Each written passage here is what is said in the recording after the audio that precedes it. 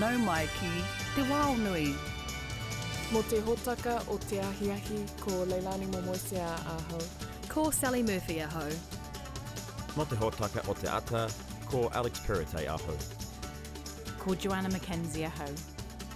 So last year, RNZ started taking some real baby steps on their Reo Māori journey for Māori Language Week. We did some sign-offs, but it went for longer than that. We're still doing it this year.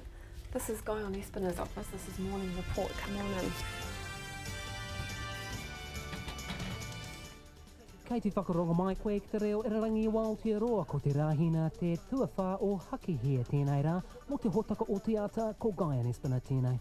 That's Guyon, and this is Alex. Alex, producer of Morning Report. So how's it been? How's the feedback been to Guyon doing a mihi in Māori? Well, usually I'd say every morning we might get two or three negative uh, texts that, that come in saying, you know, what's this gibberish? That's the word we usually hear a little bit. Um, I find that on that topic and many others, we're usually more likely to get negative feedback than positive feedback. But if the negative feedback is read out, then there's this torrent of real positive uh, feedback that comes in. And so what are they saying? Who are they? Well, a range of people from native speakers to those who don't know what is being said. So you might say you might get one saying, "I'm a 40-year-old white Pakeha male and I really enjoy it." They understand it's not really about the news; it's it's the greeting, and it inspires them. Some have even said, "You know, I'm I'm, I'm taking up classes now to learn a little bit more about it as well." Wow. And has it made a difference for you?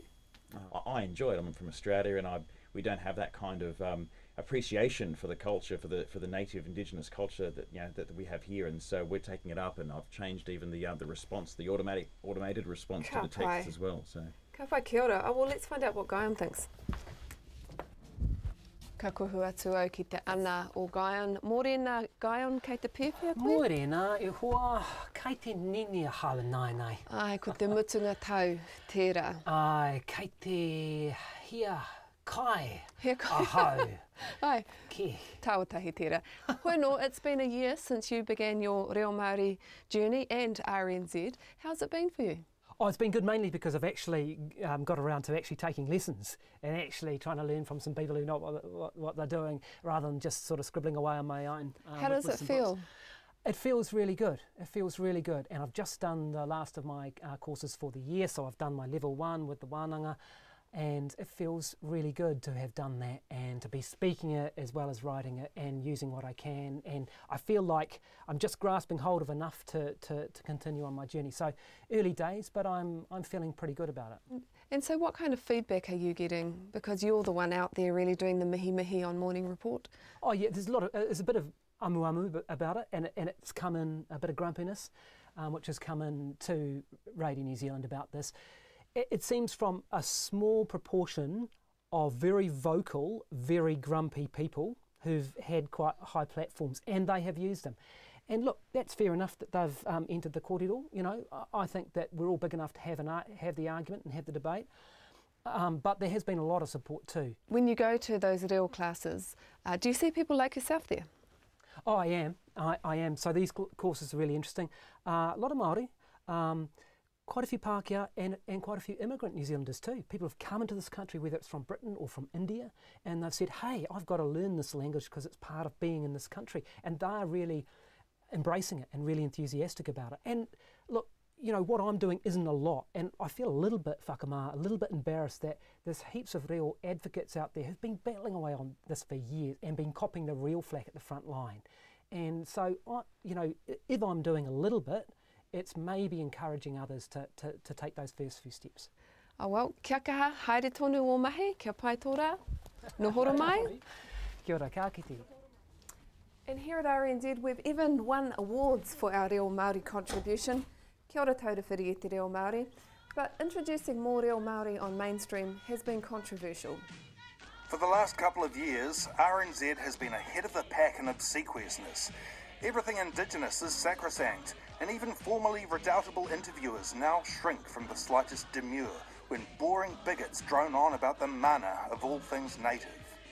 I've come to meet Rawiri Paratene. He was just a young fella when he delivered the Reo Māori petition to Parliament in 1972.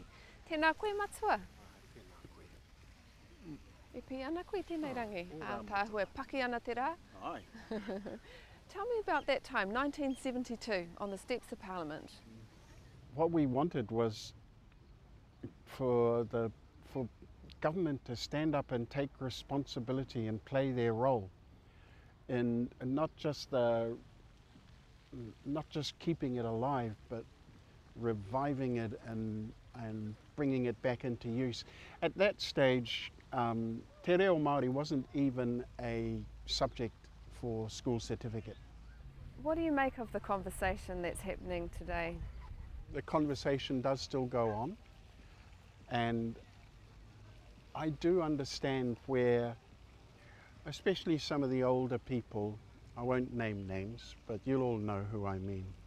You know, there's an older gentleman who has thrust himself forward again and has become an, and is getting a lot of attack from the particularly younger Māori who are even more hoha than I am.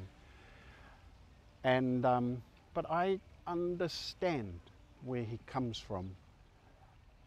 I'm, I'm disappointed that he still comes from there because the generations after him aren't so much of Pākehā, I mean, aren't so much caught up in that place so widely anymore. He kōrero whakamutunga? I remember Tamapuata saying to me, you know, it takes a long time for attitudes to change and our, our journey with the reo while these attitudes are changing, will be rough and hoha at times. Then he looked me in the eye and he assured me, but they will change. The attitudes will change. Ka pai, tēnā rawa tū koe mō o kōrero i tēnei rang. Haere rā.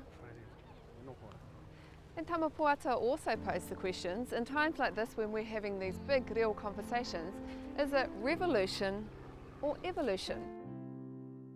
You decide. Whiti te marama i te pō Tia